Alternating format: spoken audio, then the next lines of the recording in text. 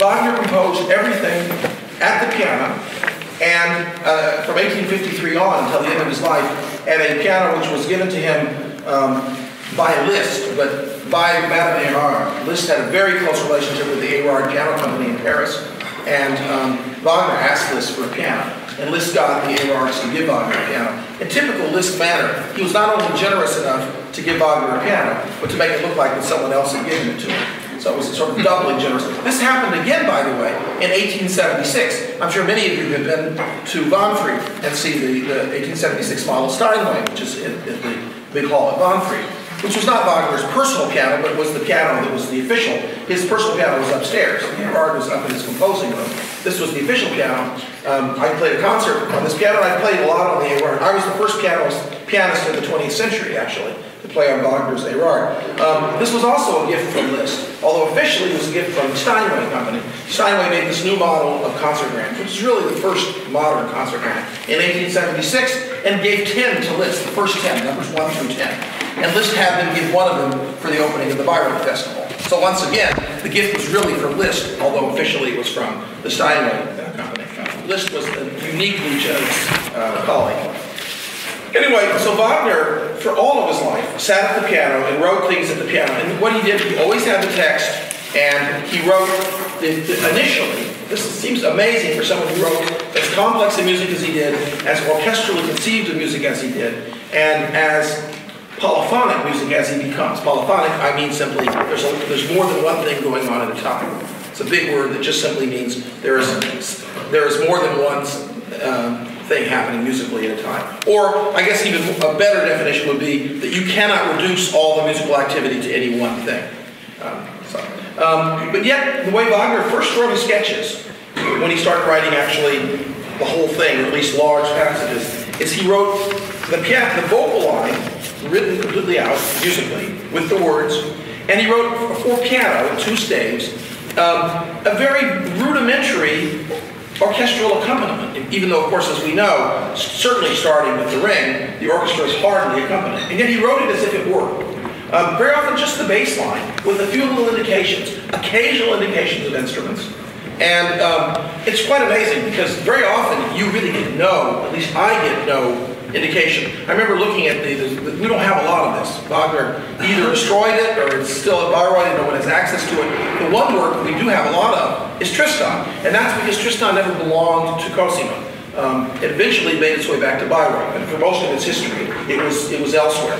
Um, and you have like, uh, I've seen the sketch of the first version, it's not a sketch, it's the first version of Isolde's uh, narration in Act One. And um, you have all the words set to the music, very much like what appears in the, in the final score. And you have the bass line and a few rudimentary melodic elements from the orchestra. And occasionally you can see like an oboe or something, or trumpets, or something, little orchestral um, elements.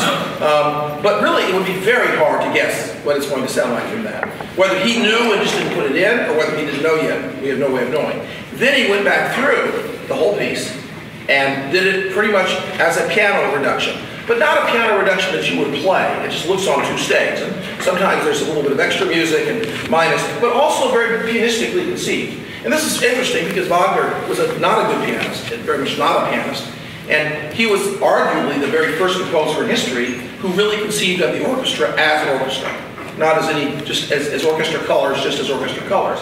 I mean, it could be said, argued that even Beethoven, Berlioz, Berlioz was the first composer who really conceived of the orchestra as orchestra, but Berlioz did not write piano scores first. And even when Wagner revised his way of composing, which was the third act of Siegfried, The prelude to third act of Siegfried would have been very difficult to give any indication at all in this form. Even so, he still just expanded the piano thing. Instead of two staves, it'd be like four staves. Everybody know what a stave is? No. Okay. You know when you look at the music, there's a clef and there's five lines. It's all those five lines. That's called a stave. Okay. You know what a clef means? Clef means key in, in French, and it's just the key to where middle C is. So the, the idea is that it, it establishes middle C for you.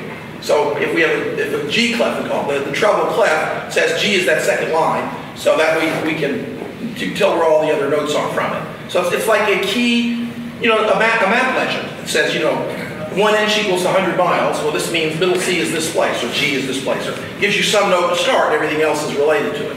So that's, see, these things are very easy. We bandy about these words, they just need to be defined. It's not that. So, so Wagner, to the very end of his life, composed everything on his piano. That piano was with him in Bayreuth. So when he traveled, he traveled with his piano, which he very, um, I think, very poetically called his swan. I don't know why, but I feel very proud of that. Yes, that's right. It must have been quite interesting in some of the earlier trips. It was given the piano in 1853. And um, in the piano, although you can't see it in Triebschen, there is a place where Wagner actually wrote in the piano the completion dates of all the works he completed on this piano, uh, which are Walküre, um, Tristan, Meistersinger, Siegfried, Dämmerung, and Parsifal, which is quite exciting. And I was the first person to play on this piano in the 20th century. And that's entirely serendipity. I played, you may have heard this story before, but it's such a wonderful story. It doesn't I don't mind telling it again. I had played at Zurich and I had one free day where I go to Basel to play. And it had been raining for weeks, as it is wont to do in, in Switzerland. And it was a glorious day. It was one of these magical days. It was May 22nd, which of course is Wagner's birthday. So I said, instead of going straight to Basel, I'll do a triangle. Go down to Lucerne. I left my bags in the, uh, the at, the, at the railway station and walked to Triebschen, Wagner's home, now museum. And um, I got there, there was a, uh, a truck in front of the front door. And I said, oh geez, closed on his birthday. But actually the truck was delivering the piano.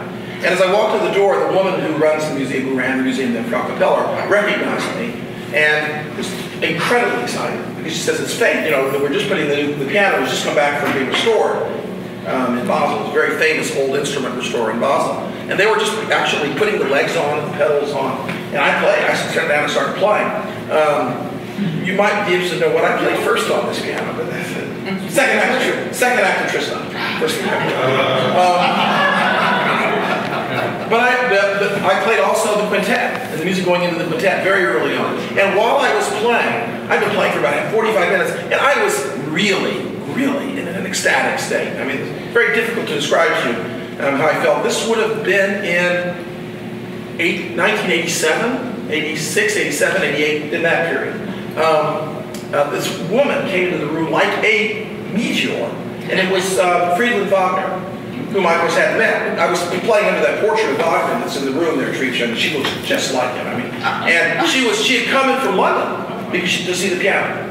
Uh, um, she had not settled in Switzerland yet. She'd actually settled in Lucerne after that. And we became good friends. And uh, that was where I had lunch with her that day at a restaurant on Lake Lucerne where she said Toscanini used to take her when she was still hiding from, from, from Himmler and, and his crowd, and um, 1938, 1939. And um, while we were having lunch, a, uh, David Shallon, an Israeli conductor whom I had worked with in Europe, came up and they spoke in, Hebrew, which, uh, which, astonished me that, that, that uh, Wagner would speak Hebrew. And after he left, I said, Frau Wagner, how is it that you speak Hebrew? And she said that because a, a granddaughter of Richard Wagner should speak Hebrew which I thought was one of the classiest things I ever heard. Um, anyway, um, that, that's my, that's, that's the high point in my Wagnerian life, right? so Wagner composed at the piano, um, and he composed, I know of almost no sketches extant of Wagner where uh, uh, there's, we don't see words. And Wagner always said that as he wrote the words, he had what he called eine musikalische Duft, which really means a musical aroma in his head. So the assumption is, is that, except in the case of Tristan, in the case of Tristan, it's not that we have musical sketches of Tristan that I'm aware of, but that um, Wagner wrote repeatedly that Tristan existed only as music. Tristan began as music. And indeed, uh, Nietzsche's work, The Birth of Tragedy, Out of the Spirit of Music, is, is a direct reference to Tristan. That, that, work, that was the seminal work that inspired Nietzsche uh, in, in, that, in that first work. And, and, I agree with Simon that I think that Wagner, in spite of himself, was actually influenced by Nietzsche. Um, definitely. And that was probably, and, and, and, deep down, the irony is, is we know that even though Nietzsche wrote these dreadful things about um, Wagner, that it's very clear also that he considered Wagner to be the greatest man he ever met. He said, even in his last essay, that he considered himself lucky, that he, uh, uniquely lucky he lived at the same time as this a unique genius. And that, that he, um, but I think it's probably true also that Wagner recognized that Nietzsche was the most brilliant man he ever met. Um, and, and Nietzsche, of course, remained in love with Cosima. you know, his last letter before he became so insane that he could no longer write letters was this letter he wrote to Cosima and signed himself, you know, Richard. And it's an extraordinary letter, actually. Um, but he was imagining himself being, being, not so much he was being Richard Wagner, but she was being Mrs. Friedrich Nietzsche, actually. anyway, um, so I don't know if that answers some questions about Wagner's uh, compositional process. Uh, yeah. As far as the autograph uh, orchestral scores, Mhm. the full score, Mhm. Do they show uh, any revisions a la Beethoven, or are they clean like Mozart? They're pretty clean. I mean, I've only seen what the, the, the autograph scores of Meistersinger. That, that's a Triebschen, and the one uh, Tristan, Juilliard Library has a copy. Um, um, the, the autograph score of Tristan is lost. No, the autograph score of Tristan is not lost. I don't know. The autograph scores of Rheingold, Walküre, and the, the early operas are all lost. And um, and since there is no actual complete edition of Wagner, there is no authoritative edition of Wagner. The closest would be the scores that they used in Bayreuth, which supposedly were, were put together from Wagner. But the mystery of what happened to the Rheingold and Walküre scores, as well as the early opera scores, is one of the great mysteries. And actually, Sven Friedrich, who is now the uh, president of, of the Tri- of Wahnfried and the, uh, the, the library and museum in Wahnfried, uh, is convinced, uh, uh, Wolfgang Wagner was convinced that they were in Russia, in the Soviet Union, that they had been carried away from Berlin. They presumably were hidden by, Goebbels took them, wrested them from um, um, the Wagner family uh, to protect them, supposedly, in Berlin. And, um, and presumably the idea was that he hid them and that they were taken by the Soviets and are still sitting in the Soviet Union. And that was always the official line. Um, but Sven Friedrich is convinced they're in the United States that somebody in Germany made cut a deal or, towards the end of the war and got them uh, secreted out in there in some private collection in the United States, uh, waiting, I don't know what, they could never sell them, of course. They belong, interestingly enough, um, now, because of, of very arcane history, uh, Wagner in his will left the, the scores to the ring to King Ludwig. They belong to King Ludwig. And the heir to King Ludwig is the state of Bavaria. And the state of Bavaria owns the Wagner Festival. So they belong to the Wagner Museum. And, so he has a right to be looking after them. This would be, of course, an enormous coup. By the way, um, there is practical things missing because we don't have the score. For instance, in Rheingold, there is considerable what a stage music, all those horns of hunting. There's no music extant. You have no music. They just make it up. Uh, so there's just, and not all theaters do the same stuff. Uh, um, but it'll say, the stage directions say, horns heard in the distance, but we don't know what they're playing. Uh, which is kind of amusing. I mean, also, there's a very famous mistake. In, in Rheingold, um, there was a place where the double bass parts have an extra note. And, and, and theater after theater, they just simply play with the orchestra players just play what's in front of them. And so, so there's like, goes on. So for like two or three measures, it's hideously not together. And you always just assume that they're not together. And it actually only came out that the mistake was there during the recording of the Solti Ring, which was the first recording of Rheingold. Was in a recording they were being so careful with details that they discovered there was this mistake. And as they went into it, they realized, no, the bass parts are wrong. And they said, well, let's check and see what they should be. Well, there's nothing to check with. Hmm. Because there's no complete edition and there's no orchestral score. So, uh, no original score. Wagner's scores are, are, are beautiful. You could, you could read right off of them. Um, he- the- so he did this piano, very short piano version. Then he did a fair copy piano version, which is no longer a piano version. Um, in other words, it's expanded, and then he did a full orchestration. And Wagner, the actual orchestration was completely separate from the composition. Um, and, and this is true of all of his. All of his works, he completed the work and then did the orchestration, which is sort of amazing for someone who's so orchestrally, um, was a professional conductor and thought so orchestrally. Um, the, the one little exception about the composition of Wagner's works, which I didn't really realize until recently, was Tristan. And this had to do with Wagner's need for money and his desire to promote performances of his works when he was still uh, in exile. Um, Tristan was published both, I mean, he finished the fair copy, finished the orchestration, and published the orchestration of each act separately. Act one of Tristan was published before he had started composing Act two, theoretically. He obviously had started uh, composing Act two, but it was, it was published as separate acts. I know of no other opera in history that was done that way. And that was done strictly, he was trying to pr- promote excitement with the work. Um, the transcription, this is a very interesting point. Uh, Hans von Bülow made the piano transcription of the prelude of Tristan. at a time when, of course, he had never heard a note of Acts 2 and 3. Instance. So, uh, kind of an interesting, interesting to think of that. Uh, yeah. Talking about scores and transcriptions, I recall that a couple of years ago you mentioned that Bayreuth was rather tight-fisted when it came to access to the archives. Controlling, let's say, yeah. Is that still the case, or have they? I haven't, you know, uh, first thing, um, I haven't done anything with the Bayreuth Library since 1976. And I made an inquiry to the uh, Bayreuth Library in about 1984. My experiences in 76 and 84 were both, um, they were very tight-fisted or very controlling. Um, I haven't had any direct access since. It might very much have changed in the last 10 years. There's been, first thing, since 1996, the legal situation changed, and then, of course, uh, then uh, Wolfgang died. Um, so it could be quite different now. I found them quite a bit, uh, I, I used for some photo research a few years ago. Mm-hmm. And, and what you always do in German archives is you get to the director and I went and talked to Sven Friedrich. Sven Friedrich, for sure. Two hours, and suddenly, there were lots of pictures there.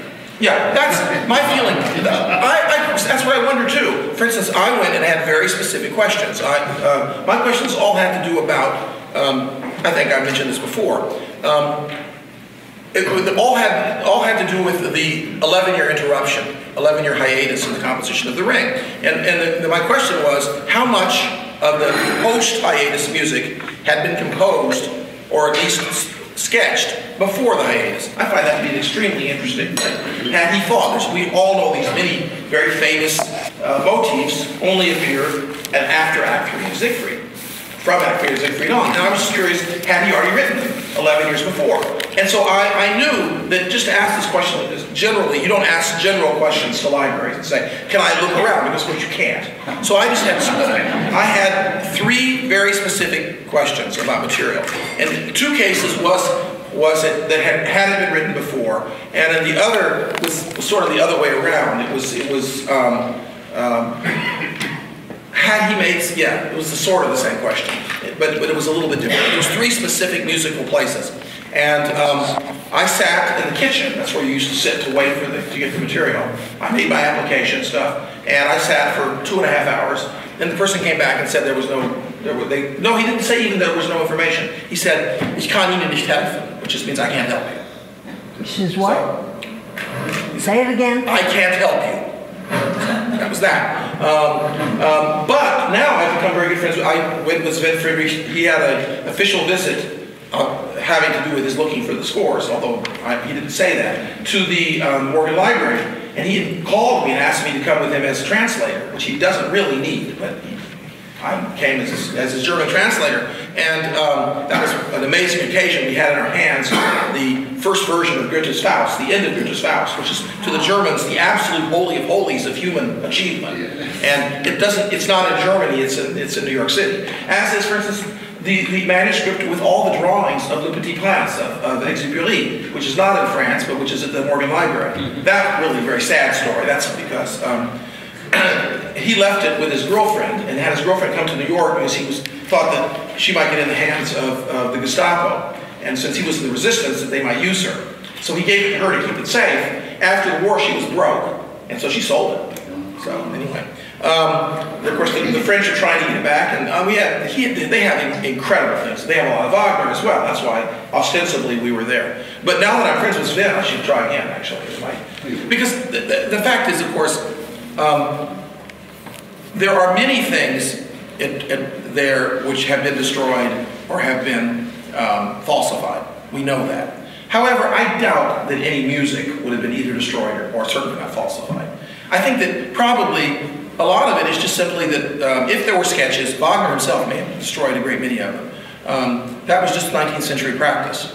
You know, um, composers like Stravinsky, who always had an eye for the buck, would have never destroyed sketches because he had said, thought of perhaps 30 years down the line he could sell them to somebody or have them sold and get money from them. But um, that, you know, that was not, they didn't think of things those ways at all in the 19th century. But I'm sure there are, I mean, it, it's, for instance, the fact that we have so much sketch material from Tristan, which is the one opera whose, whose um, material is not in, in, in Bayreuth, um, is, is, I think, significant. Now that we're on the subject, one other thing, which is, um, to me, um, I'm sure many of you have read the Hamann uh, biography of, of Winifred Wagner. Yeah, it's an excellent book, by the way, and very balanced. You know, you you I came out of the book with uh, actually a feeling of her not as a monster, but as a, as a complex and in many ways very sympathetic and pitiable person. Um, but the stories about Wieland, especially the one about the, the scores of Parsifal and Tristan, the two great treasures that the Nazis had not been able to take away from, from Bayreuth, were the scores of Tristan and Parsifal. And Wieland decided that he wanted to get out of Germany in 1945, the beginning of the, the year. And so he and his uh, brother-in-law devised a plan where they were going to take them to Switzerland. And of course, if they had proposed this to anybody official, they would have been probably shot. I mean, theoretically, that was defeatist. Just trying to leave was grounds for immediate execution. And taking out of Germany two, you know, of the great treasures of German culture. And they got halfway across uh, Lake Constance to go into Switzerland, and they were stopped by Swiss border guards who made it very clear they would sink their ship if they continued. So they turned around. So then they changed their mind. They decided they would go to Berlin and convince the Fuhrer that they should get permission to leave the country, to get some kind of documents to get them into Switzerland, to get this stuff out of the country. So they, in February of 1945, they drove to Berlin. Now, driving to Berlin from Bayreuth in 1940, February of 1945, the only way they could get get um, um, Gas. gas was by taking furniture from houses and burning it uh, using using. Uh, it was, evidently, it was an unbelievable uh, a voyage. It took them like three weeks to get to Berlin, and when they got there, of course, Hitler was was already in the bunker. There was no way to see him, so they, they had to go back to Bayreuth. Actually, they didn't go back to Bayreuth. They went to Lake Constance. Um, um, so, that, so um, Wieland Wagner, who knew he was in deep uh, doo-doo after the war was over, at this point, I think everybody knew which was what was going to happen, um, did not want to be in Bayreuth. So actually, Mama and, and, and Wolfgang were the two who were in Bayreuth when the soldiers came, whereas Wieland and law firms of that local crowd were down on Lake Constance, down in southern Germany, very extreme southern Germany. okay, any more questions about the compositional process? Okay, so I'm going to talk, I wanted to do just a little bit more on the, the, the, the motivic families because there were a couple of things that I felt very strongly that I shortchanged you. Um, one thing I, I, I, really felt that I shortchanged was in talking about the motivic families, um, how music that is related to motifs can dominate whole long stretches of music. I mean, for instance, um, the, the, you know, the ring motive. So we can hear, you know,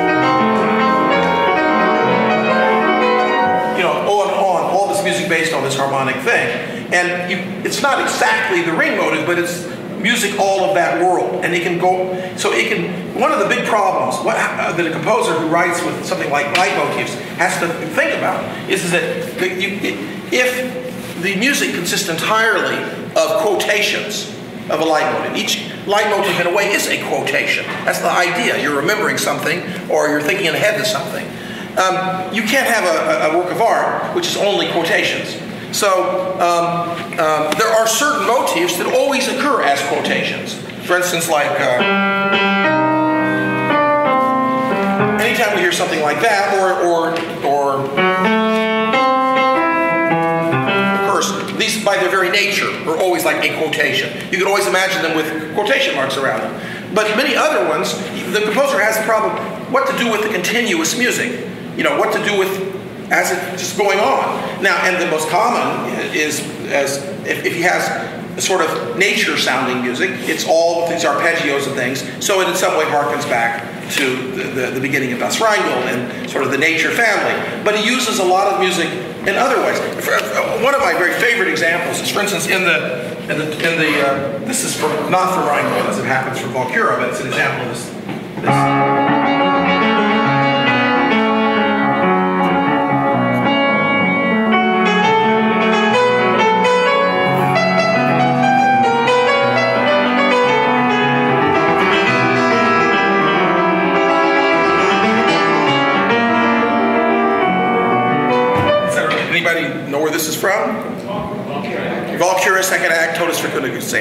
Uh, Siegmund and Brunhilde are getting more and more passionate in their, uh, in their, I don't know, argument is the wrong word, but their discussion.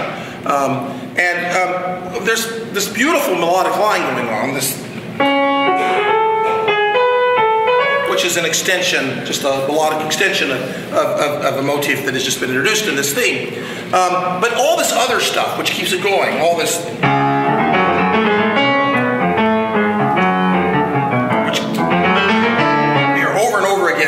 Again in the big, kind of keeps it going and builds up the excitement and, and, and gives it sort of a, a musical framework to have the melody on is, is combinations of two basic motives ideas that are being constantly um, um, developed. And that's a musical term. That's actually a technical term for musicians. Develop means that you take a musical idea and you work with it. You, you change it, you, you repeat it, you do it upside down. You, you just keep on you doing with it. And the two ideas here are basically scales, which we associate with Wotan Spear, and this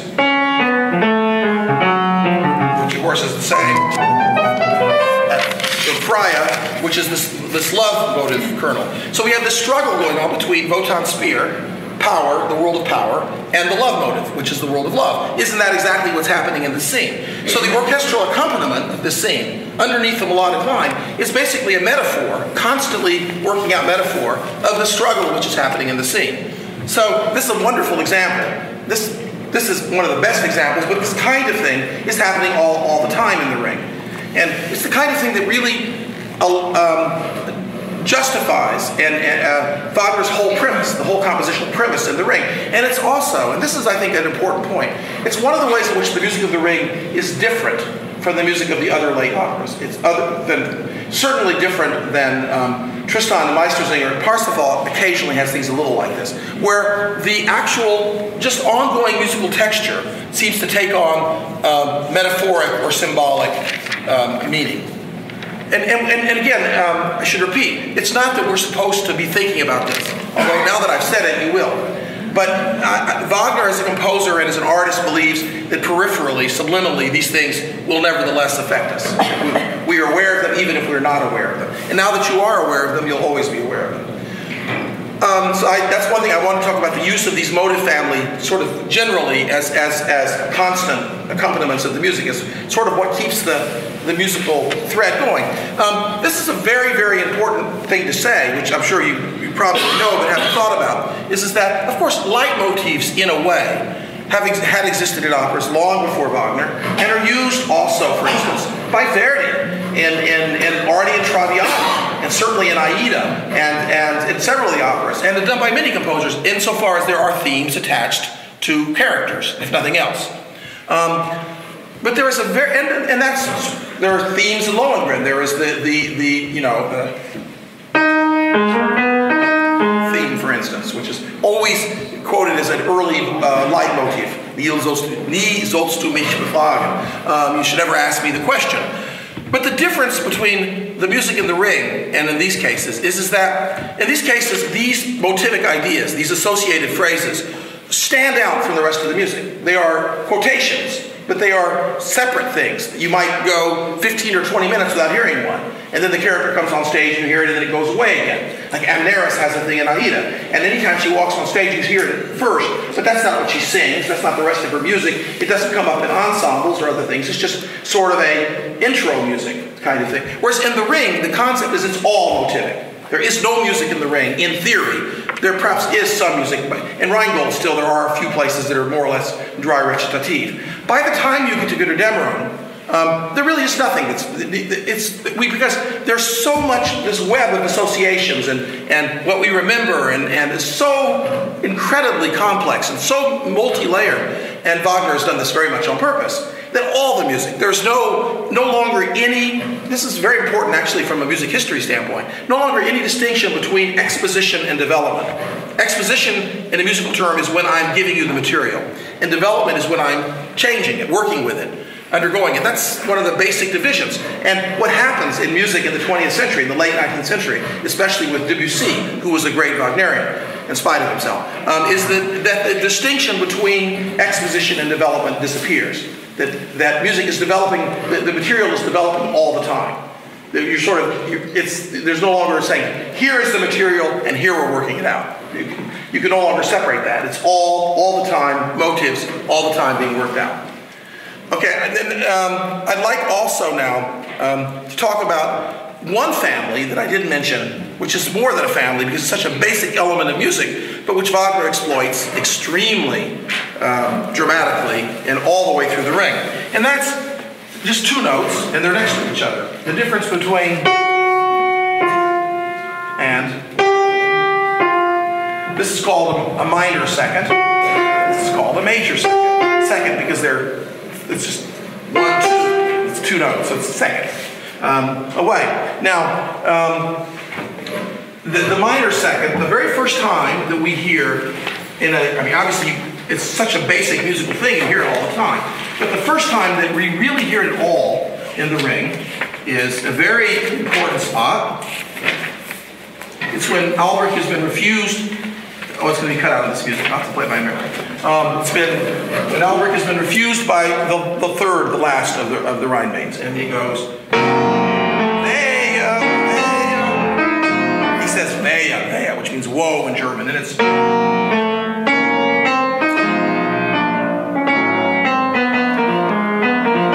which is um, also very significant. It's um, first entrance of my, well, no, not the first, the second entrance of, of my little love cell.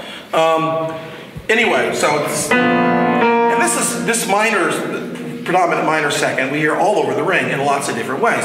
Um, we hear it, for instance, when Alberich kisses the ring, we hear it as,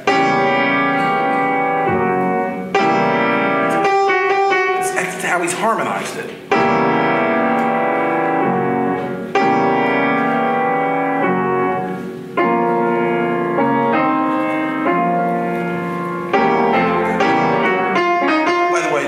Come from? Anybody can tell me that sort of harkens from? From the, the, the, the, forging, which is associated with the, with the Nibelungs in general. So he takes a little bit of that,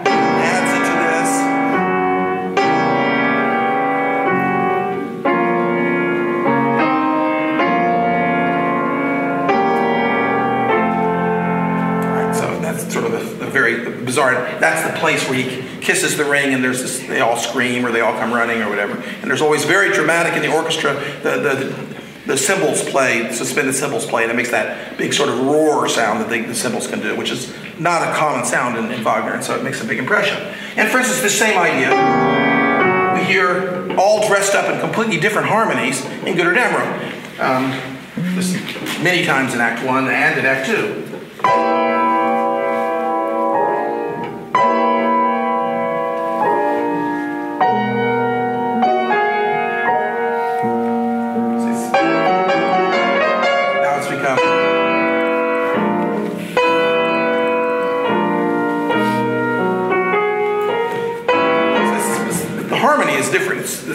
Wagner in, in 1853 when he wrote Rheingold write those kind of harmonies. That's, that's something that happens after Tristan.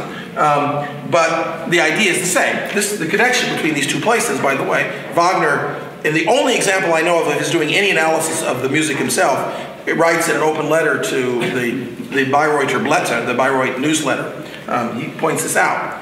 Um, he points this out, by the way. He says instead of trying to find all the motifs, it might be more interesting to see how motivic ideas change through the works, which of course is what I'm trying to do. So, but even this is perfect example of the, the this play through the ring between minor second, which is whoa. It's just because it lends itself to that, and the major second. The major second, of course, is I guess that with that sort of. We think right. That's such a, a major occurrence in the ring. When we first hear them sing Rheingold, Rheingold, Leuchtendes Gold, that's that makes a huge impression on us, and we hear it that way all the time.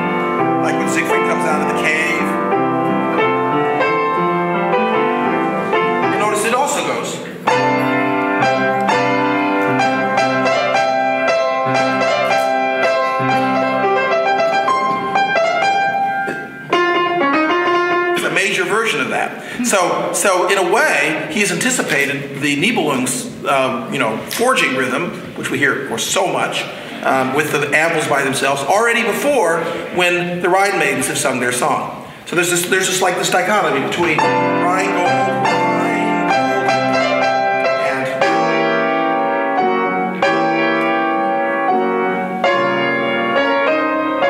It's two things. and, and, and sort of opposing kinds of forces.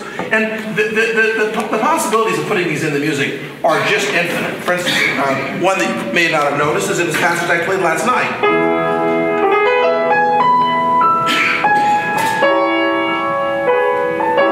Rheingold.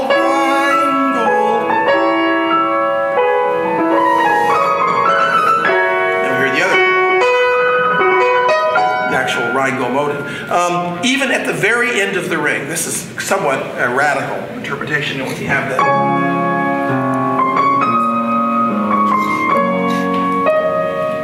The orchestra goes.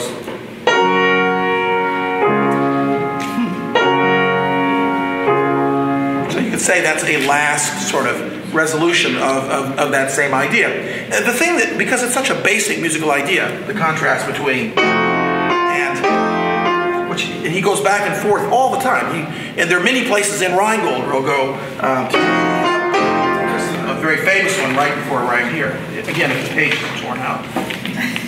No, right here, it is, it is.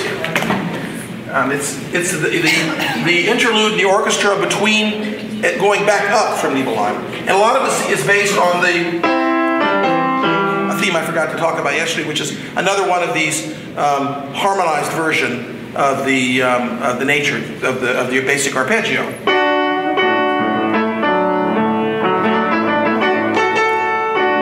The golden apples, of course, which is, makes sense. It's part of nature. It's a manifestation of nature. So we, we're hearing that.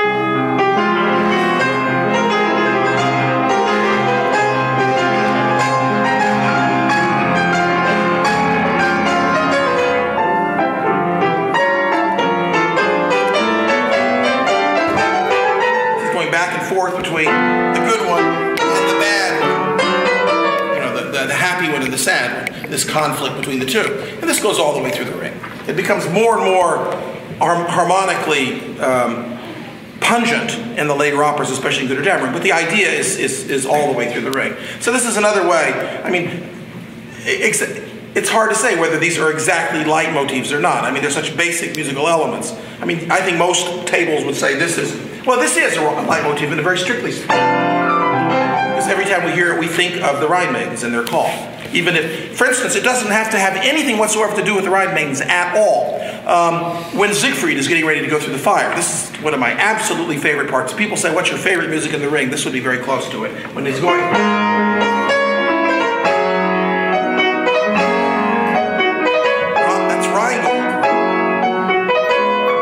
The forest bird is there, that part.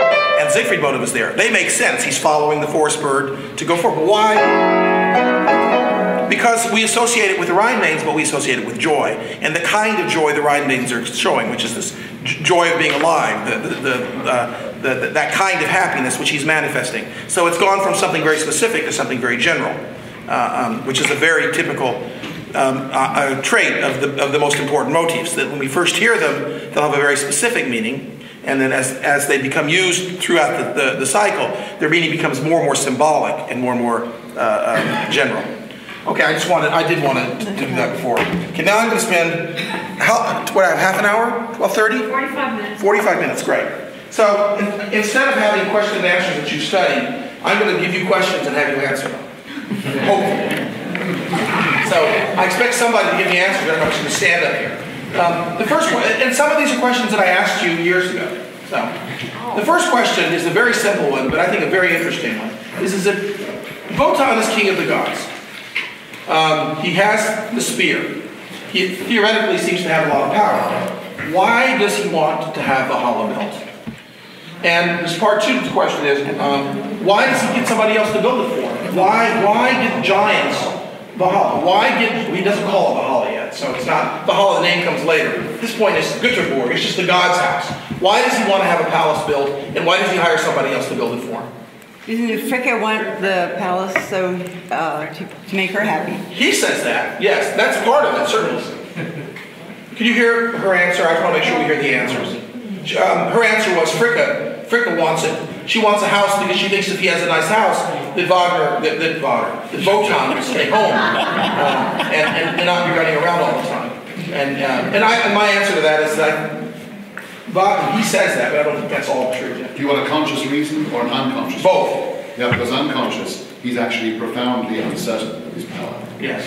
And he's, uh, and, and, and, and he lives in that terrible uncertainty that Wagner described. Exactly. I think that's a very, that, the most important part of the answer as to why he wants to build a palace is that it's a very important sign, a very important thing, that Wotan is not at peace. He feels threatened, he feels insecure, he feels unsure of himself.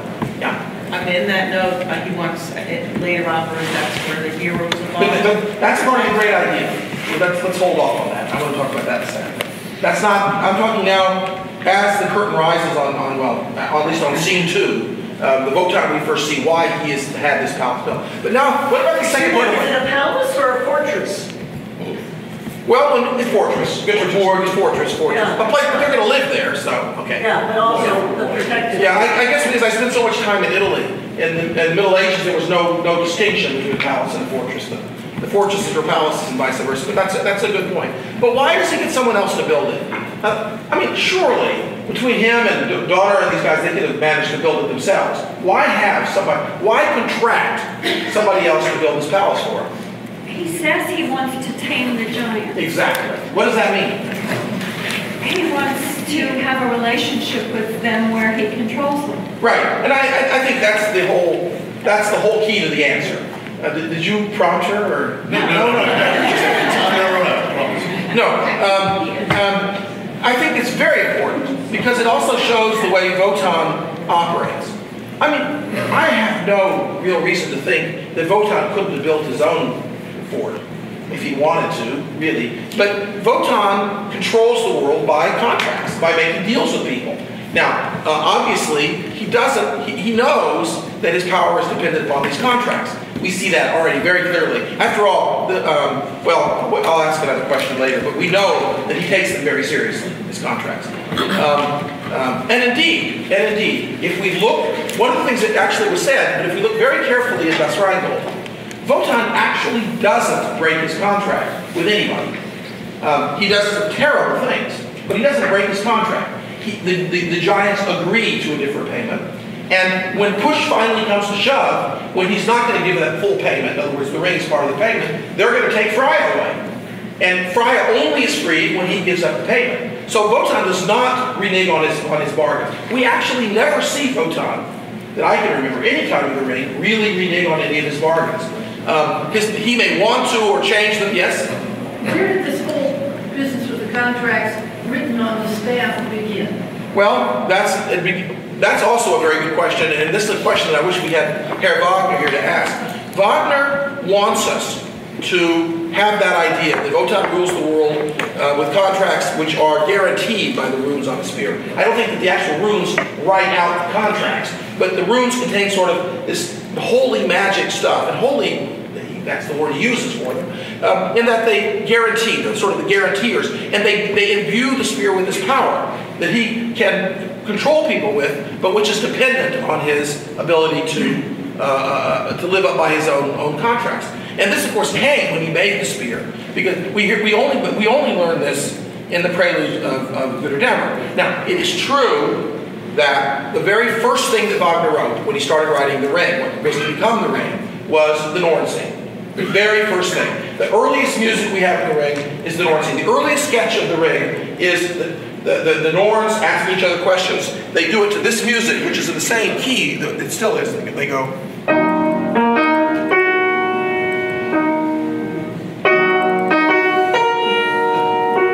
And then all three together.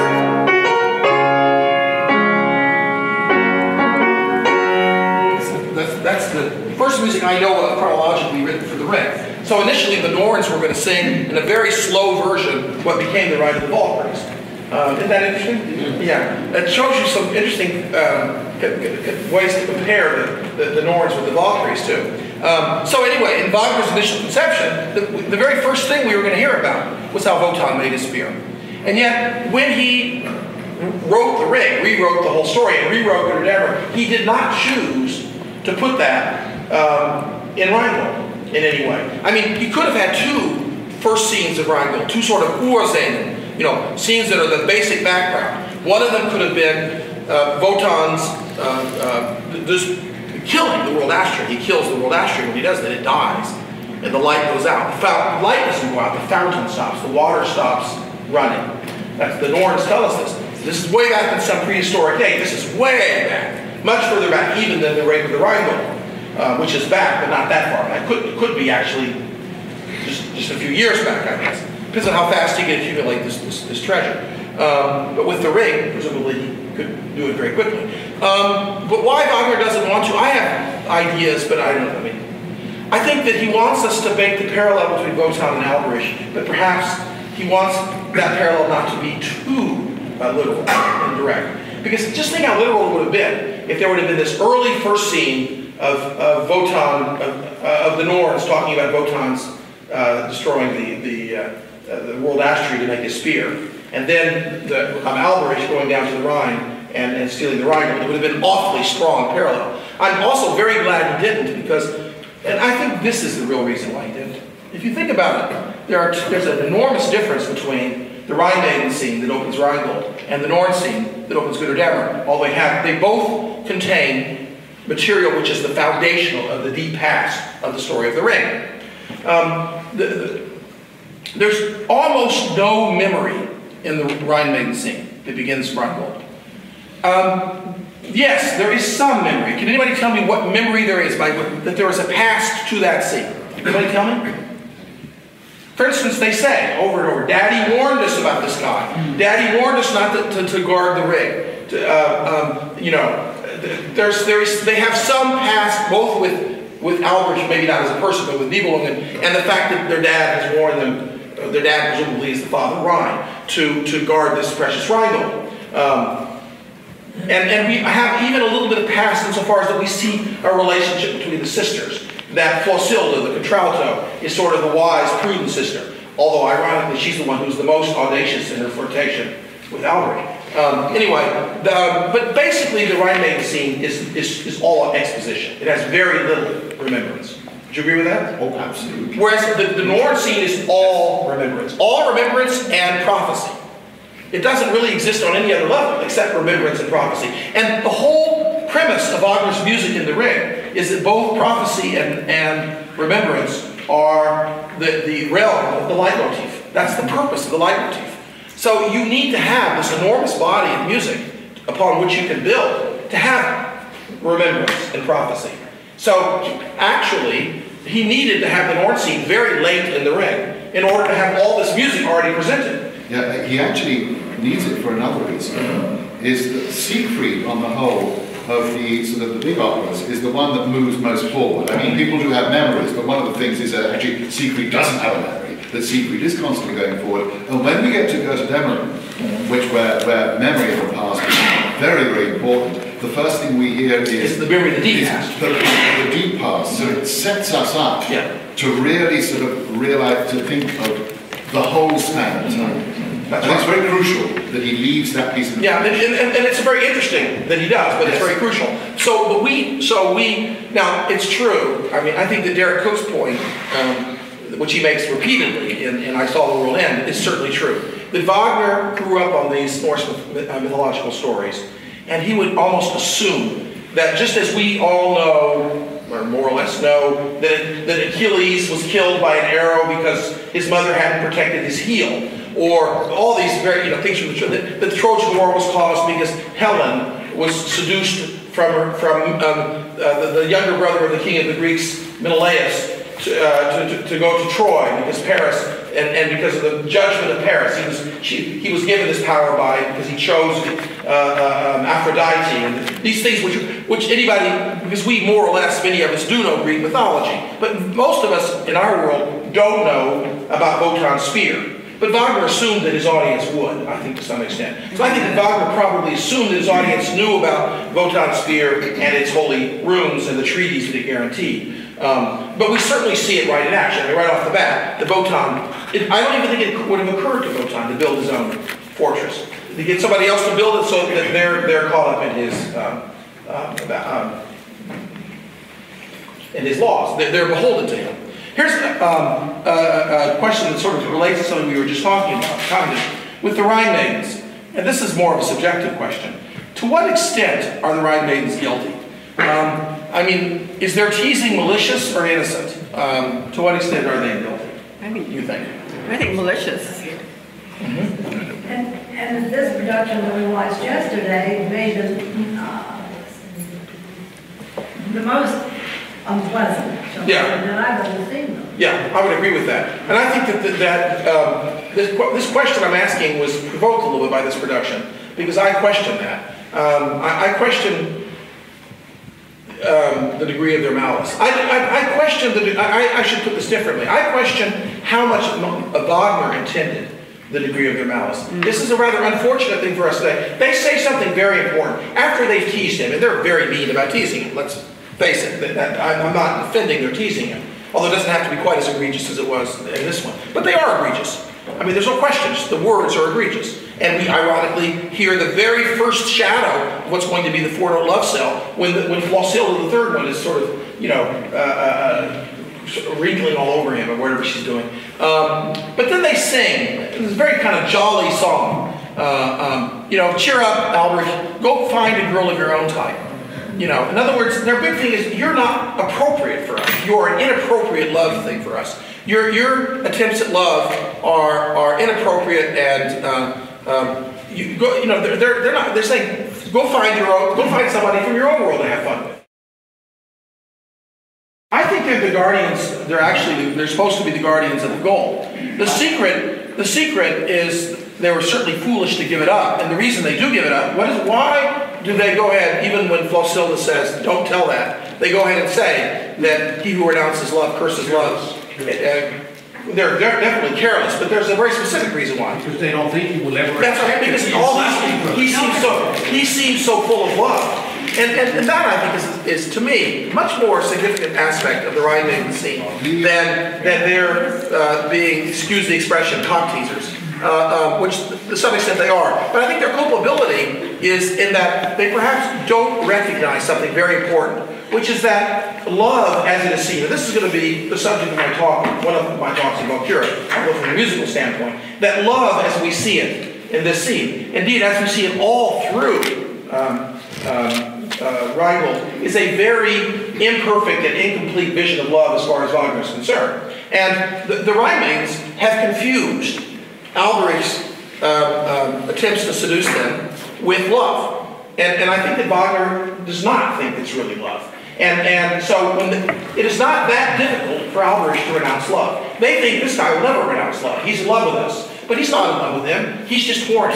Or he's just, um, perhaps a better word is that he wants to possess them because they embody this beauty that he doesn't have, which probably is a much better way. But he, the, the idea that Wagner thinks about love, which has to do with a lot of issues of, of empathy and compassion and fellow feeling and all sorts of things, and the, the good of the other person and these kind of, there's absolutely zilch of that. Albert doesn't give a damn about any of those things with them. And so they have misunderstood love. And so it is no big deal. If Alberich, Ziegler, for instance, could never have renounced love. Uh, but Alberich can. It's no big deal for Alberich. Indeed, maybe that's the whole point of, of when he pulls out the sword. Is the, we, we both operas start with the first scene that has two people faced with a situation. One very easily renounces love because he doesn't really understand what it is in the first place. The other absolutely will not renounce love because love is everything to him. Okay, that's yes. Jeffrey, I mean, let me, let me Jeffrey, can I just, just interrupt? Flossil actually said, uh, sings, Our Father told us and made us guardians, faithful guardians of all the gold, lest some rogue should befall the deep waters. On guard, then possibly guard. That's the sacred. That's, yeah, right. Well, that's a good, uh, yes, you have Are they riding maidens or riding daughters? Right, daughters. I'm completely wrong. I'm totally, entirely wrong. That's just one of these silly and, and very uh, incorrect uh, uh, things that we call them. They should always be called Rhine daughters, not Rhine maidens. There's no indication that they're maidens or anything like that. They're Rhine daughters. Yeah?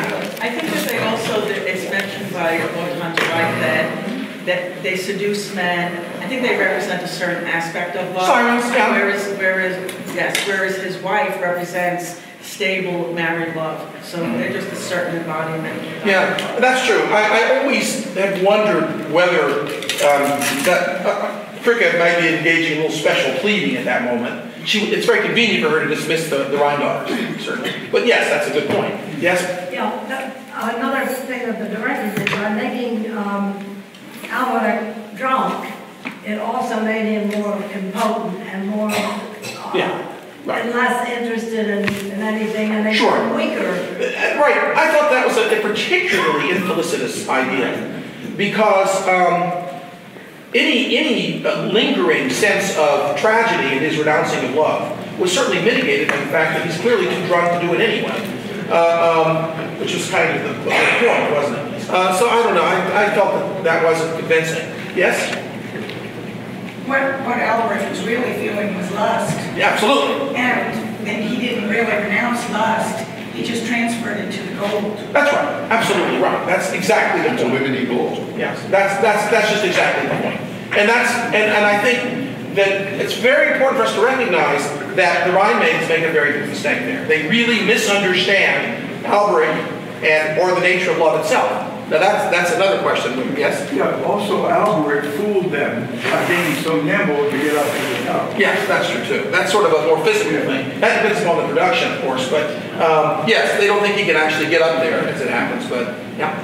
It seems to me, this tendency sometimes to see the Rhine maidens as, as guilty reflects a modern sensibility of, of increased empathy for the disabled, the disfigured, etc. Uh, Yeah. And we think they're taking advantage of Albert, whereas their view, as I think you indicated, is that he really is a different order of being. It's not that he's somehow uh, an inferior or ugly. He's simply, different. he's simply different. And the irony, uh, which I guess is yet another element of the comic uh, in, in Simon's definition of this as a satire, is that while on the one hand they view him as a different order of being, on the other hand they view him as having the same reluctance to renounce love of everyone else, which is a, a you know a fundamental contradiction and a mistake Eh, which right. pay. The comic Yeah.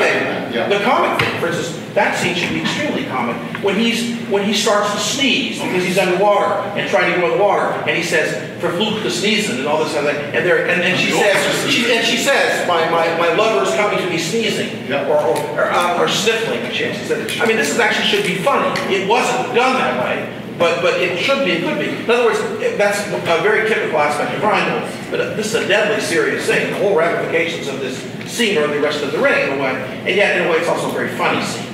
Um, the, the theme, by the way, of inappropriate love, I think that Albert has no concept whatsoever of what love is. And there's no indication that he ever has or ever would have had. But um, nevertheless, um, inappropriate love is a very important theme in another work of Wagner's. You want to say what it is, you talked about it, Sam. Meistersinger, Meistersinger, Meistersinger. Um, because that's the problem of Beckmesser. The problem of Beckmesser is not that his song is bad necessarily, although it is bad, um, but it's not really that bad. But that Beckmesser is an entirely inappropriate lover, as is Hans Sachs for, for Eva. Uh, of course, this is in a much more realistic setting, but still, I think that um, I, I- think that the- there is, in the modernist tendencies, when we, when we do the ring, um, in our attempt, you know, I think that, uh, it's going to give my little two cents on a sort of a major subject, which is that I think that poor Wagner suffers from his enormous success. And if someone were to say to me, I know nothing about dramaturgy and staging and blocking and things, what is Wagner's greatest triumph as a dramatist, not as a dramatist, but as a dramatic writer?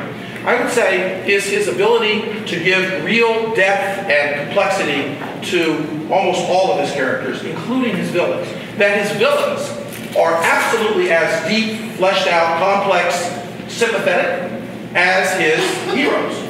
Um, occasionally more so. And that really the only work of Wagner that I feel that that's this, there is none of this is, is Lohengrin. And in Lohengrin, even in Lohengrin, Telramund certainly has this, and perhaps Ortrud, no, Ortrud really doesn't. I mean, um, Wagner doesn't have the stick villains, the, the non-motivated people. I mean, in Wagner, if people do good things, we know why they're doing them. If they do bad things, we know why they're doing them. It's very important for Wagner that we see where people are coming from. One of the purposes of the first scene of Rheingold is that we see where Alberich is coming from. And, um, um, but he then suffers because um, people confuse the fact that, that Hagen, for instance, or that Alberich is, are, are, are real people with real feelings, with real disappointments, with real frustrations that are pitiable in many respects, but they nevertheless can be extremely evil. I mean, uh, um, we, because we can sympathize with poor Albert, we say poor Albert, and, and Alberich's plight and everything. And yet, if we just simply look at what he says to Wotan and Loge in scene three, it would be hard even if we try to set down a more true, truly evil vision of, of, of the world than, than he has as his dream, his plan in scene three of, of, of Rheingold. So, you know, we, we um, in, in, our, in Wagner's success in creating such a well fleshed out and complex villain is Alberich. Or even Hunding, for God's sake, is fleshed out. That is essential for any villain. I mean, one thinks the most famous villain of all is Iago. He's the most hateful person I've ever, ever seen created in drama, and yet we have to completely understand him and find out where he is, because only then that we understand the, the, the, the real force of the evil. Sure, and this is the weakness of so many There's others. nothing there, there's just been melodramatic vision, and we just go, hiss, and that's it. Yeah, and that's that's exactly the problem of, of most operas on that level. Yes. We have no sense of why the overwhelming majority of operating villains are bad. They're just bad. They're just bad. They have a black hat on them. That's- that's the melodramatic. How did Alberich father Hagen? Oh, oh, he, he tells us this very specifically. He bought the woman. He, for, I guess, decided he needed an heir. We supposed to be. Yeah, yeah, yeah. He must have bought her with a lot of money. He obviously still had money left over. and and uh, he, we even know her name. Was it Grimhild Finance or something? That's forgot her name. I think Grimhild sticks to me. But um, yeah, he bought her. She was obviously uh, uh, someone who would then later on and married the king of the Gibbons, Gibich. And um, so he was. That's why he's the half brother. Was he the oldest Yeah, he's older. He's older than, than Gunther and Gutrune. And, and one of the, the great bitterness, which we're anticipating next year a little bit, but what Wotan says, you know, although I think Wotan is, is, is not entirely correct in his assessment, he says, I who have loved so deeply cannot have us, uh, I have to kill my own son, and Alberich, who only hates and has no love at all and just bought a woman, um, um, has, um, his son will take over. That's right when he's getting ready, in his bitter irony, to bequeath the world to Hagen's son. I mean, to Alberich's son, he specifically says, you know, that Nibelungen and, and there's a quotation at the end of Hagen's watch, he, he calls himself Nibelungen Sohn to the same music. So, in a way, Hagen is quoting uh, the Wotan, uh, sort of nightmarish vision in, in, in, uh, in the, sort of the, the bleakest uh, moment uh, in the in the monologue. Um, anyway, I think that I think that um, one of the issues, and I think that this is probably what I'm going to talk largely about in musical terms in Valkyria, is um, love as an issue in the ring is extremely complex and extremely central. And I would agree that love versus power is probably the central conflict in the ring. But love versus love, different types of love and different um, and different ways of thinking about love is also a major problem. Um, just something to think about as we go into the future. Think about the fact how often love in the ring actually becomes a negative force. Uh, or at least what people define as love. A negative force right here in the first scene, and then the maidens misunderstand Alberich. They should have never told Alberich about cursing love. Uh, that's, that seems quite simple. But very often, I think in the course of the ring, uh, people, um, uh, because of being in love or because of how they understand love, make some very egregious mistakes. I have a question. How do you, how do you read Wotan's love? Who does Wotan love? Well, that's how does love? Well, I think that we should talk about that when we get to the Valkyria. Certainly in Rheingold, in the world of Rheingold, let's, we can talk about Rheingold for now. Um, everything that we see defined as love is a very limited view of it, very limited. Um, um, what, okay, we have Alberich, who the Rhine maidens think is in love with him, who obviously is not.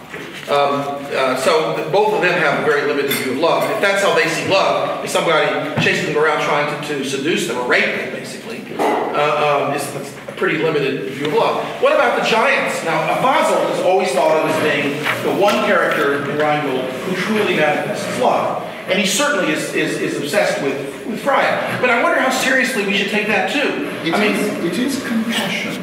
There's a strong element of compassion. Actually, in some In whose part? productions, On- on Fasolt? there is an element there in Fasolt that he actually there is a sort of a compassionate love for her, and not only uh, a. Perhaps, okay. And some interpretations, some productions, you actually see that Freya responds. Yes, It actually sure. can be very. Oh, no, no, no, frankly, Lepage. If, I I have to Yep. say, in Lepage, Lepage, um, and one thing is a very interesting point, in, in, I'm just gonna do one question, but I'm running out of time, so I'm not gonna ask any more questions, um, was had to do with the, the ring, the manifestations of the power of the ring in Rheingold. And, uh, one of the ways that we, we certainly see in Rheingold that every character who hears about the ring, um, with, with two exceptions, um, is immediately under its spell. This, this is even before there's been a curse. Um, and, um, and the one character, Fasolt, is only partially under its spell. It says he unwillingly agrees. Very interesting place, where this is wonderful cadence. It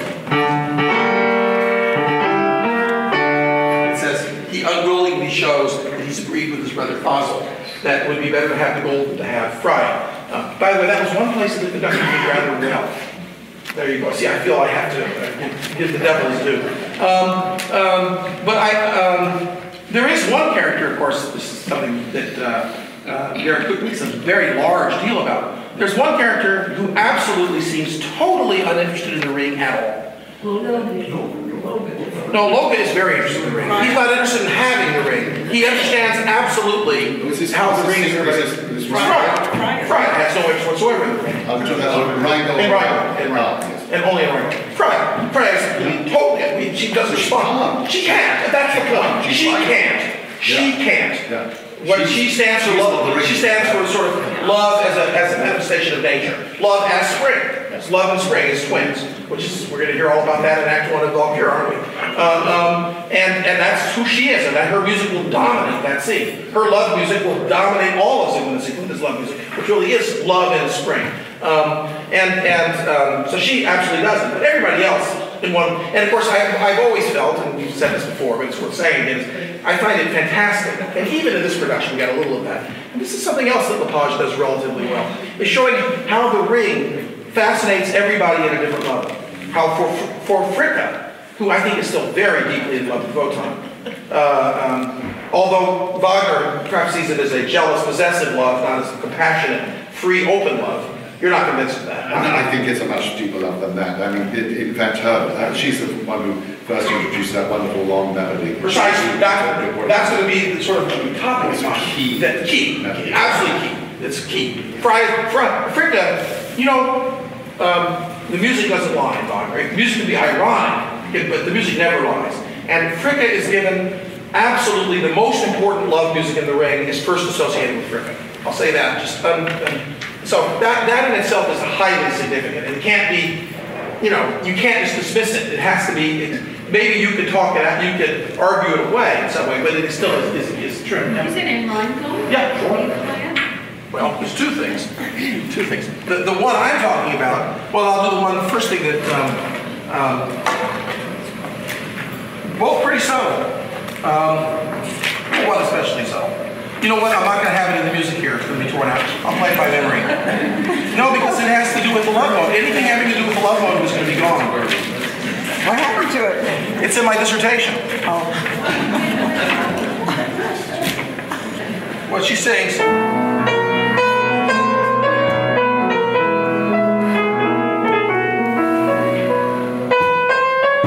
that's not, the- the- I want to get the exact note. She sings these notes. Oh, here it is. I do have it.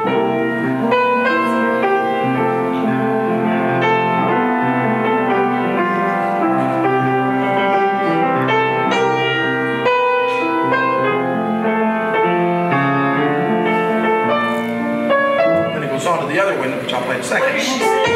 She's saying, um des Gatten Treue besorgt, muss traurig ich wohl sinnen.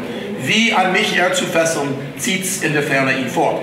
Uh, for my husband's, this is a horrible translation, in order to, to look after my husband's faithfulness, I sadly must wonder what I can do to keep him from wandering away. She's talking about how can I keep my husband? Well, here. Anybody recognize that?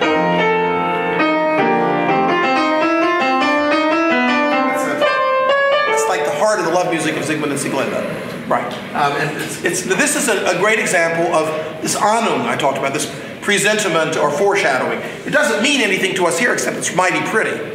And, and, and not only mighty pretty, it's, it's totally different from any of the music around it. It comes, I was very struck by that yesterday. I think you were too. I mean, it just sounds so different from anything else. All of a sudden you have this, the tremolos, the orchestra, you know, this you know, it's very, and and the, the other one that we're talking about is this. Oh, here it's not as not as clear. I'll play it another time.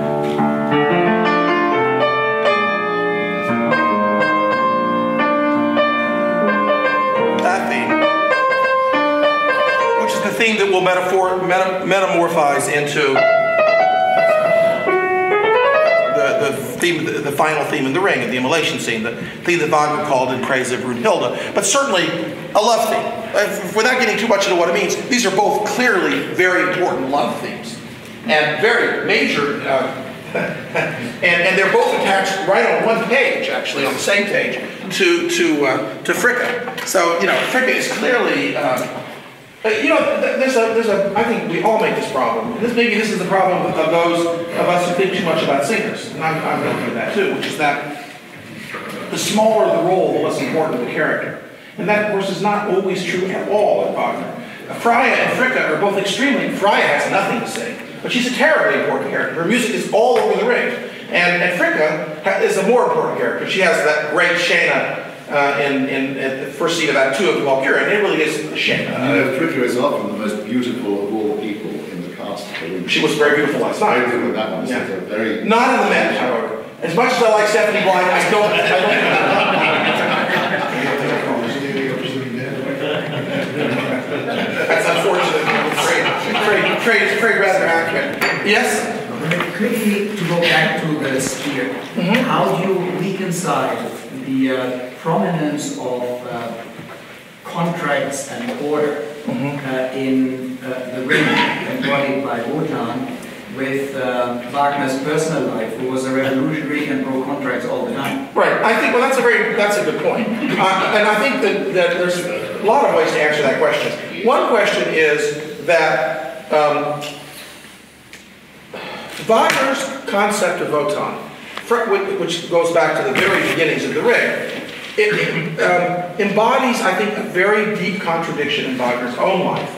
I don't like trying to read works of art into the lives of, of, of artists. And the reason for that is, is that I think that um, there's so much digestion, so much uh, process into the work of art that it is impossible to take a single thing. Just this morning, I was talking about um, this tendency, and even in the most obvious uh, uh, examples, it's dangerous. The most obvious example, of course, is that I, as a kid, studying the life of Tchaikovsky, learned that this was a very depressed man who, in a state of absolute morose depression, after having written the Pathetique Symphony, which is God knows one of the most depressing pieces anyone ever wrote, purposely drank water in, the midst of a cholera epidemic and killed himself, uh, in effect. And he died at age 53. Um, and, okay, sounds wonderful, and it really kind of responds to what we like to feel about these things. The fact is, is that Tchaikovsky wrote one piece after the Pathetique Symphony before he died. Anyone know what that? Well, you, someone knows. Someone's talking to them today. He- well, no, uh, uh, uh, Nutcracker. Nutcracker. Nutcracker. One of the happiest, most absolutely, you know, delightful pieces imaginable. Um, written with Mozart interesting. Mo- no, there is, yeah, well, Mozart, yeah, right. Mozart, but Mozart was aware he was dying, at least at the very end. And Tchaikovsky was not. Actually, then, I, I don't know if you remember, to go back to Tchaikovsky for just a second, it's kind of funny. And because it shows, I think, something very important about uh, music history and, and um, the way we modify things. So when I was a kid, the idea was he was depressed and drank water knowingly during a cholera epidemic in this sort of moment of fatalistic gloom and he died, which is a pretty horrible way to commit suicide, let me tell you. Um, then, then, then there came out this new theory in the late 80s that was very much the rage for about 10 or 15 years, which is that no, he actually didn't die of cholera at all, that he died of poison because a, uh, an affair he was having with a 16-year-old boy who was the son of a Grand Duke had come out. And the Grand Duke had said that he either would commit suicide or face the rest of his life in Siberia. And he decided, and, and with, with great public shame, and he decided to commit suicide instead of having the shame.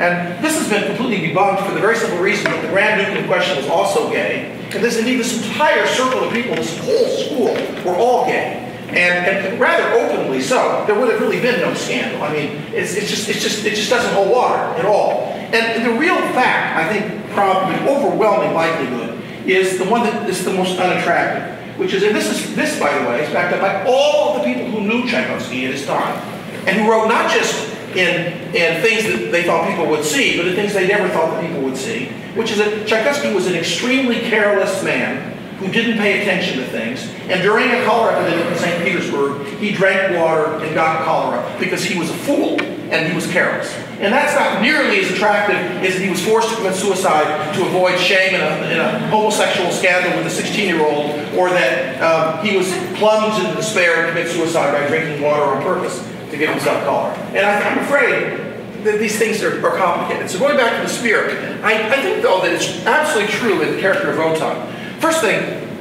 Wagner put a great deal of himself into Wotan. We know this from the letters to, to Ripple. He says, look at Wotan. He is the very picture of man as he exists. Uh, and I think any of us, when we picture man as he exists, the person we look at first is who we see in the mirror to some extent. So Wotan um, obviously dreams of a world that he can control, but that he can somehow control in a way which is fair and free and, and, and just.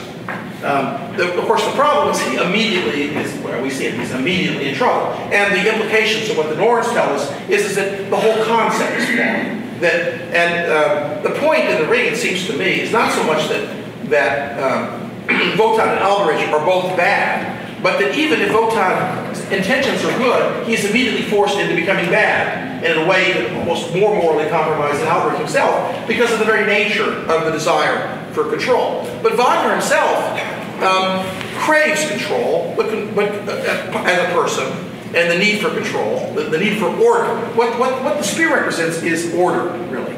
Order, um, that things are kept, control as in order. I mean, I think the idea that Wagner has is, is that there's two kinds of order posited in the ring, social order.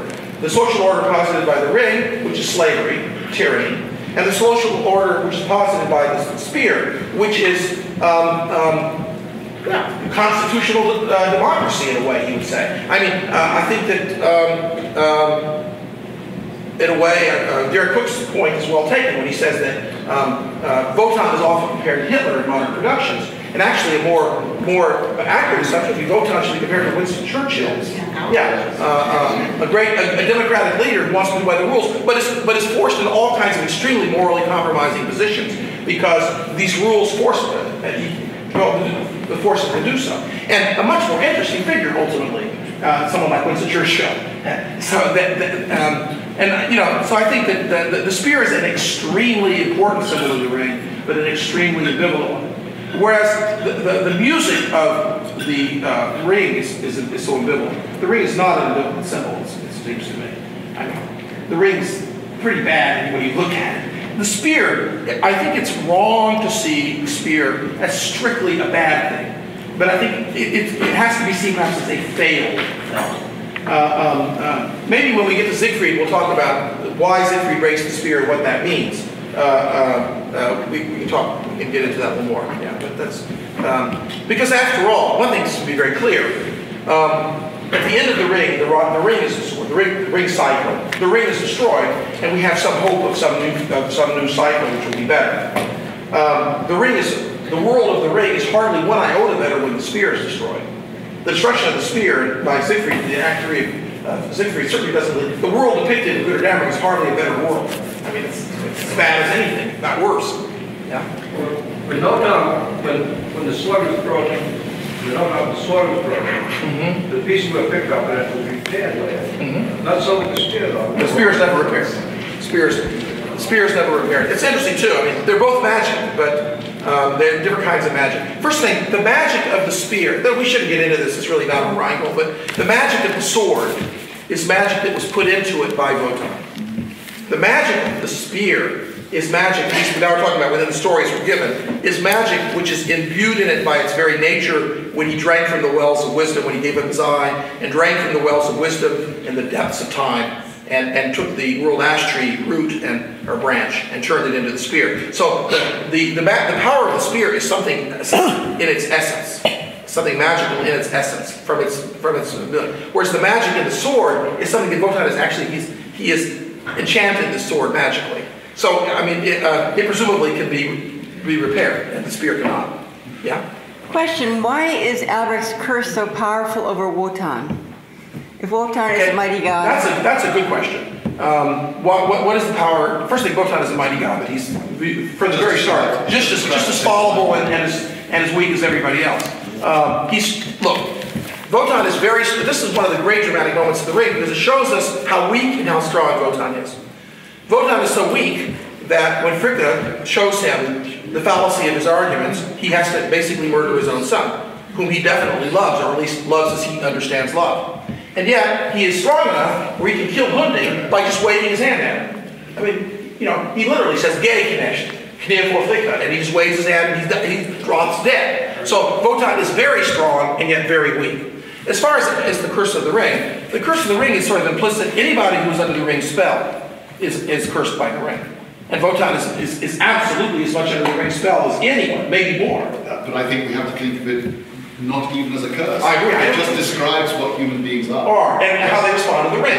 Any, anybody who is a, human, a true human being, Fry isn't, um, is liable to the curse of the ring. The ring, the ring has its own curse. Alberich's cursing the ring is a marvelous theatrical moment.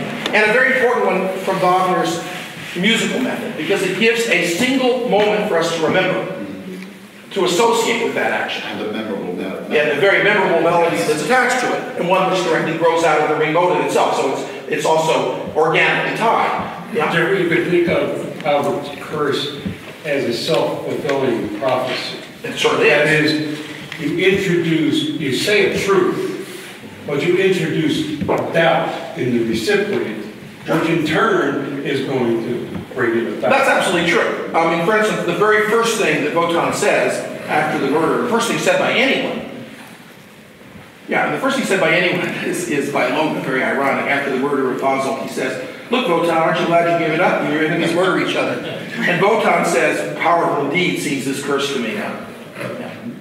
Um, the, uh, I don't understand the motivation of Fafner to go in a cave with, uh, I mean, if I had all that ring and all that money, I'd do something more interesting than go sleep in a cave You know, the and rest of that, my life. and that's a, that's an excellent question and an excellent comment. And I think it says something about the nature of the, of the ring and its curse.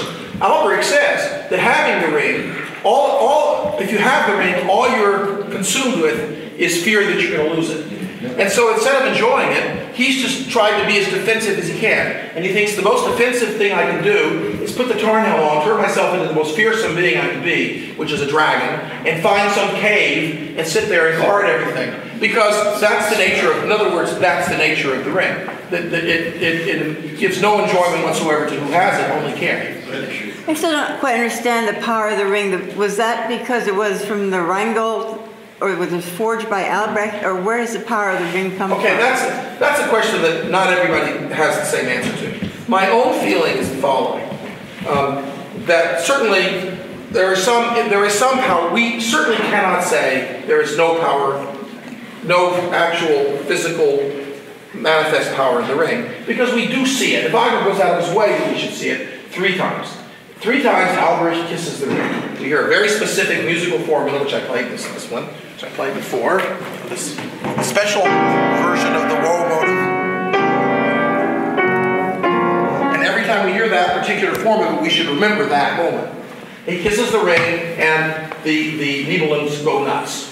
They have they lose any vestige of their ability to resist him or will or anything. They immediately cower. So I think that we have to buy that into the story. Wagner is really going out of his way for us to buy that into the story, so that there is some power. But we never see anybody else uh, derive any power whatsoever from the ring.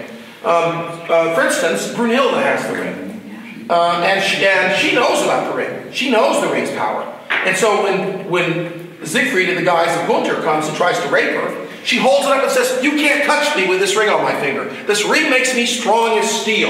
That's literally what she says. And so he just tears it off her finger. Doesn't, doesn't seem to help her at all. Um, by the way, I firmly believe that Brunhilde is just as much under the ring's curse as anyone else, but that's that's Götterdämmerung. We'll get into that in Dameron. Um, it just manifests, manifests itself in a totally different way because she's a totally different kind of person. We're talking about the power of the ring, though. Other than that power that Alberich shows, the ring has an enormous amount of power. And the power is the power of the curse, which is the power of the nature of the ring. That people are consumed by desire to have it, and they see in it that which they most uh, keenly desire. Fricka sees the, the ring as a tool that will keep Wotan by her side forever, as a faithful, loving husband. Donner sees the ring as the ultimate weapon by which he can subdue the world militarily, because that's what Donner does. He's the god who fights. Wotan sees the ring as the ultimate, he says, this makes me the mightiest and most exalted of all. That's what he says when he first puts it on his finger. This exalts me to the mightiest of mighty. He looks at that, he wants might, he wants power. Alberich, of course, wants money, but he wants power too, actually. He sees money as a means of power. Um, um, so people seem to see in the ring what they want. Actually, what, think, what, is, what does Brunhilde see in the ring? Why won't she give it up? Connection with uh, Siegfried. Yeah, she says, it's my love token to Siegfried. Let me ask you a question. Would she have loved Siegfried or Siegfried loved her any less if she'd given up the ring? No, no, there's no power in the ring. The ring isn't the love of Siegfried and, and, Brunhilde. It has no power. But she's stupidly, foolishly, because she's under the ring's power, won't give up the ring. Of course she should have given up the ring. I mean, I don't know if, how much it would have changed things, but of course she should have given up the ring. Waltraute's argument is absolutely, the music also tells us that, Wagner agrees with me, but she's, she's, she, the ring to her is, says, this is my love for Siegfried. No, she, the ring means as much to her in, in its own way as it did to Fafner. It's just that she, Fafner was Fafner and Brunhilde is Brunhilde. They're mighty different people. That's all. But Siegfried doesn't seem to care about the ring. He doesn't know what it means. That's absolutely right. The one person who carries the ring around who doesn't seem to give a damn. As he says, if the Rhine maidens had, had not threatened me, but just said, give us the ring, he would have given it to him. Actually, the Siegfried is along is actually allied with Freya and uh, Ragnar. That's right. Yeah. That's right. Siegfried, in that respect, until the very end, until the very end, is like Trion, and he does not care. Yeah. And, and, and your theory that it's because he doesn't have a past, is there's something to that. Siegfried is the one character who, who, who seems to have little tools of the past, he just lives. Yes? It was, uh, Alberich placed a curse on the ring, but when Alberich stole the ring, was it an inherent curse on him in having the ring? I don't know. I don't know. I mean, in a way, yes. In a way, Alberich is the most cursed of everybody. Uh, um, I I mean, it's true that Alberich is the only person who seems to have physical power from the ring. He's the only one who's actually derived any benefit whatsoever from the ring. But from a deeper level, the benefit in Wagner's view of things that he's gotten from the ring is certainly nil. I mean, if, if Wagner seems in the ring, Wagner seems to think that the highest good is joy and the ability to, to, to, enjoy love and to, to have fellow feeling and sympathy and compassion for other people and all these sorts of things. Albrecht may have the ring and can get as rich as long as he has it. He can get as rich as he wants and he can enslave the Nibelungs. But he certainly doesn't seem to be happy um, or, or content. And as a matter of fact, most of the things he says in the curse is already true of him too. He says, he who has it will be consumed by fear that he'll lose it. Well, that's certainly was his case. Why, does he have, why does he build the Tarnhelm, for instance? As a means to keep himself as, as a defense mechanism, which is exactly what Fafner uses it for too. That was Somebody who deal. has asked a question. He denounced compassion. That was his deal. That was his deal, yeah. That's right. Uh, the Wotan has the ring in his hand, Mm-hmm. and he, the ring doesn't have any power. Right. It doesn't help him at all. No, no. No, No. the, the giant section. Yeah, yeah, but it doesn't give the giant any power either, as far as we, can. for that matter. Siegfried certainly kills the giant without any particular problem, even though he's turned himself into a dragon. Because he's just a dragon. The fact that he has the ring doesn't seem help him a bit. On the contrary, in a certain kind of way, having the ring makes you more vulnerable. Yes. Because everybody else wants it. So, you know, it's, the ring is really of no use to anyone, yeah? Why the Rhine why did the ring, the, the, the Rhine maidens want the ring back so badly if they didn't ever exercise any power? Oh, no, that's different. Uh, that's different. The Rhine, the Rhine daughters don't want the ring back. They want the Rheingold back. The ring is made from the Rheingold. And the presumption is, is that if the ring is given back to the Rhine maidens, that the Rheingold will be restored. That the ring will, that having it back they can restore with, I guess it has enough of the initial essence that it can restore the Rheingold to the Rhine. The Rheingold is what lights the Rhine. It puts light in the Rhine. The symbolism of the Rheingold, the Rheingold is joy. The Rheingold is the existence of joy and, and everything that's positive in the world. So the- for the Rhine maidens to get the, the, the ring back is to them all important. It's the only thing that's important. By the way, that's another, talking about my, you know, remember they sing one of the most beautiful places in at the very end when they come back. That, by the way, is certainly one of Wagner's great inspirations, is having theirs be the last thing. And, and they sing, when they come back, something we have not heard them sing before, but that we'll hear over and over again. You know, first thing, they've always had this harmonization before, or it's very, very bright, but now already it's much more poignant.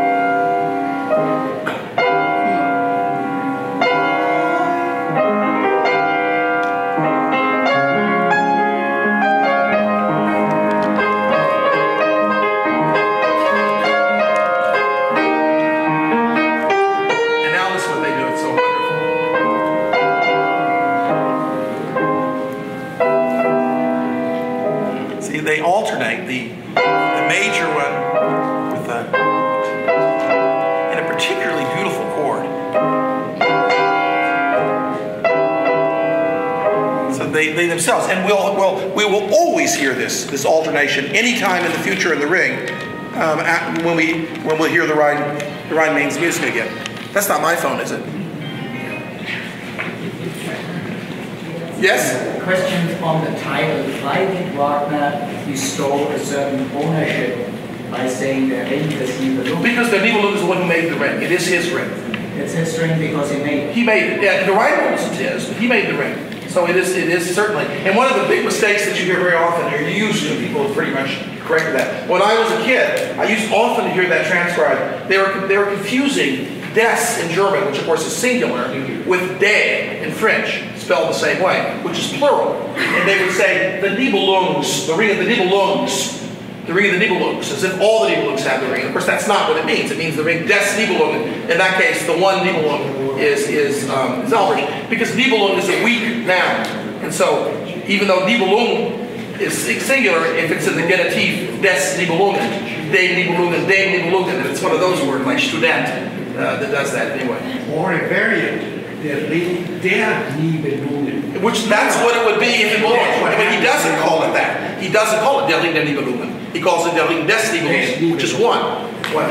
Yeah. I think we're just about have to stop. Does this emphasis on contracts uh, and their central role as represented in the spear uh, link up at all to the uh, the critical suppositions, particularly by Shaw, that at least at the outset, when this was being written, Wagner's vision uh, was a political one, Was- uh, and, a, and, a, and, a, and a critique of industrial capitalism, which essentially exists based on a Contract. Oh, absolutely. Sure. It was a, uh, a critique on a, on a world system that was that, that depended on being beholden instead of uh, instead of free cooperation. Yeah, absolutely. Uh, I don't think there's. By the way, I was thinking about contracts. Wotan lo- still loves contracts. He never loses his love of contracts. Can we think of another example of Wotan's manifestation of his love of contracts later in the ring? Contracts. Like a contract. It's a bargain, a deal. The scene with Mime. He comes on stage and immediately says, uh, I'll wager my head that, that, that, that, I can answer any three questions you can ask me. He sets it right up again. Again, what has he done? He's, he's embroiled Mime into his, so yes, he's, he's big, he seems to be really big on that. Hasn't, hasn't gotten out of the system yet. And he does it on his spear. I mean, he does the whole, his spear is very present, especially in the last part of that, of, of his third answer. I mean, actually get one of the most magnificent uh, occurrences of the ring, of the spear motive in the whole ring, and we usually get it with a huge clap. We should get it. That was one thing I liked in the show. Very spectacular thunder. Here's a good one for a director's idea. Enact One of Götterdämmer, have him walk on at the moment where they have the blood brotherhood. Yeah, and have him, have him, except that the spear is broken, you have to have pieces of it, but yeah. Um, why not? Here's a, that's interesting, interesting concept. Here's a, here's one last question, and, and then I think we should go. Um, we were talking about the ring. We saw the ring used three times in, um, in, in Rheingold, and we never see it used again. By used, I mean it's actually used and something happens. Alberich kisses it and something happens, or holds it up in the air and something happens. Um, um, do we ever see the spear used in the ring? We do. But could you tell me where we see the spear used? We're actually, you know, the spear is usually just a prop but and he can or can't have it. But even almost any stage director can't do without the spear in at least I would say three places in the ring that I can think of. No, he doesn't. No, that's just production. He shatters Siegmund's But he sword. shatters Siegfried's sword with it. That's right. He's, he causes Sig, Siegmund's death. He's, he, no, he's, that's right. He's, he shatters um, the sword, Siegmund's sword with it. That's, that's not the first time, but that is certainly one time that we see the spear in action. Yes, that's a very important time. That's very, very significant. He, with the spear, uh, conjures up Loge, who now, that's Loge. That fire, it's very important to remember that. That fire is Loge. That's, Loge has now been turned back into fire. He was fire before, and, and Wotan turns him in, somehow manages to magically make that fire become the person, the, the demigod Loge. And, but now Loge at the end tells us he's starting to wish he were back in fire again, and Wotan fulfills his wish. He does so rather violently in his production. Um, yeah, Just a, a quick question about it. For some reason in my head, I have it in my mind that somewhere in the libretto of the ring, there is a reference to, uh, Wotan spear in the breast of Loge. Yes, absolutely. That's the, we, we hear it, that's the Norns, the Norns say. Okay, so what I thought, this came to mind at the end of the video yesterday when Loge was pierced by Wotan. Uh-huh. And that's, that, you know. It was the right thing at the wrong time. Yeah, and it, you know, that reference of like, why was Loge. uh, Okay, let me- let me find it here. That's kind of what it reminded me of. Okay, um, it's not here. It'll be the fire, no, it'll be the fire. Okay. By the spear's enchantment, Wotan enthralled Loge. In other words, turned him into a fire. Help he gave to the god. In other words, no, this is even before. Wotan, with the spear's help, enchanted the fire that was Loge and turned him into this god. And he en- repa- and repaid him by, by helping him. Loge, I guess, helped him, although it was dubious help. From his galling fetters, freedom to win, he gnawed the runes of the shaft. So we learned some very interesting, which I never even thought about. They say that, that he actually gnawed the runes, the holy runes on the shaft of the spear with fire. Then, with the mighty spell of the spear point, Wotan confined him. That's the end of, of Walküre. This is amazing, condensed history of the world here. Flaming around Brünnhilde's rock. And then she says, with the shattered spear shaft's piercing splinter